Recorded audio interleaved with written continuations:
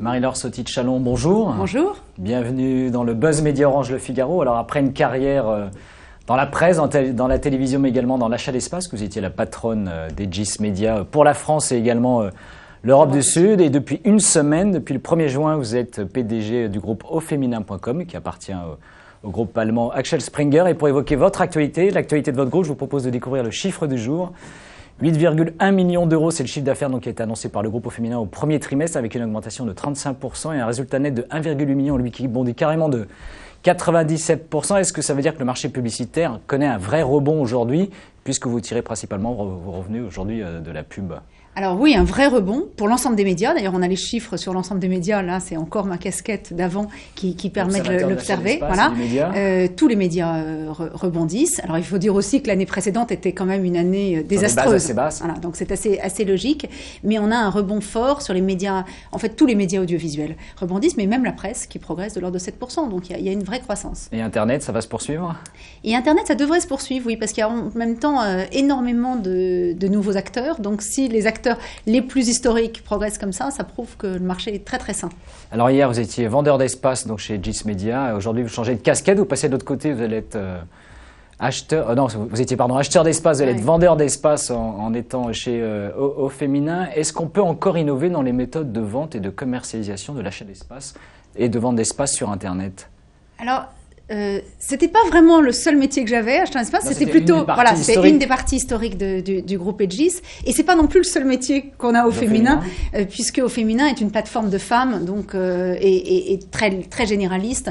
Donc c'est pas seulement le seul métier. Mais, pour répondre précisément à, votre question, c'est le royaume de l'invention et, de l'innovation. Je pense qu'on n'a pas encore vu tout ce qui allait déferler sur sur le site. On trouve d'ailleurs que les formats historiquement, les bannières, étaient pas très innovants. On voit aujourd'hui que plus de 50 de, notre chiffre d'affaires et de l'ensemble des, acteurs de l'Internet provient de, nouveaux formats, de nouvelles façons de communiquer. Donc oui, on est, on est vraiment au, tout démarrage d'un nouveau média.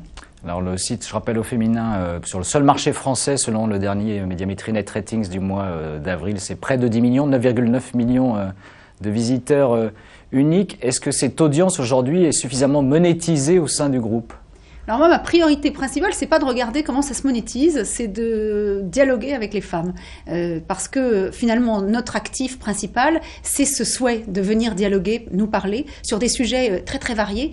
On, sait que le premier sujet c'est euh, la grossesse, la maternité, mais on a beaucoup d'autres sujets, le sujet de la santé, le sujet de la cuisine avec Marmiton, qui est le, premier site de, cuisine. Donc ce qui compte pour nous, c'est en fait ce, ce dialogue avec les femmes, et c'est ce sur quoi on va travailler principalement. Alors après, évidemment, comme on leur apporte beaucoup d'outils. Elles nous donnent leur confiance, on leur apporte beaucoup d'outils pour euh, à la fois euh, s'informer, mais aussi euh, s'amuser avec nous, comme les albums photos, etc. Il faut aussi qu'on monétise pour pouvoir financer nos, nos développements. Et oui, on voit que en effet, il y a de plus en plus de croissance sur tous les marchés, c'est-à-dire tous les pays, et aussi tous les outils. C'est-à-dire que dans, dans notre chiffre d'affaires, il y a un outil, ce qu'on appelle data serving, qui permet de délivrer donc euh, des. C'est une plateforme technologique. Une plateforme technologique. Elle croît aussi très fortement et dans tous les pays. donc ça, c'est plutôt très motivant.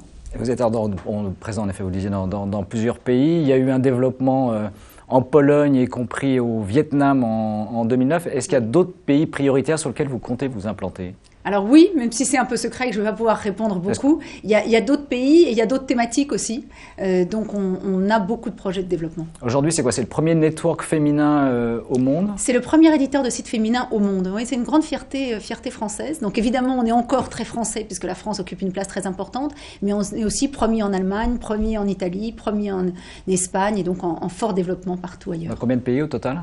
On est, en, fait, c'est un peu limité puisque dès qu'on a une langue, euh, par exemple, on est très fort en Espagne, mais on est évidemment très fort aussi en Amérique latine à cause de l'espagnol.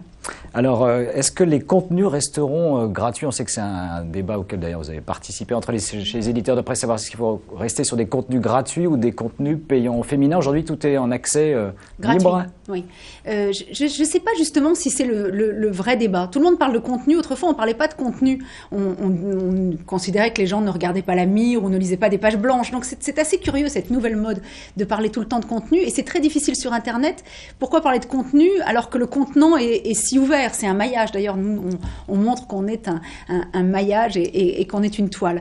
Donc euh, chacun trouve son business model. Nous, le business model qu'on a trouvé, c'est au contraire d'être très généreux. On nous donne euh, sa confiance, les femmes nous donnent leur confiance, on leur donne en contrepartie des outils, euh, on leur permet de dialoguer entre elles et on se débrouille, on fait notre affaire avec tout ça pour euh, financer nos développements. Donc pas question de mettre des contenus en payant non, sauf qu'on l'a fait déjà sur quelques applis, euh, l'application d'iPhone, euh, que euh, sur les Android et, sur l'iPad, on cherche des, nouveaux modèles, que sans doute le sponsoring, sponsoring de rubriques, partenariat avec des clients sera un moyen de, financer.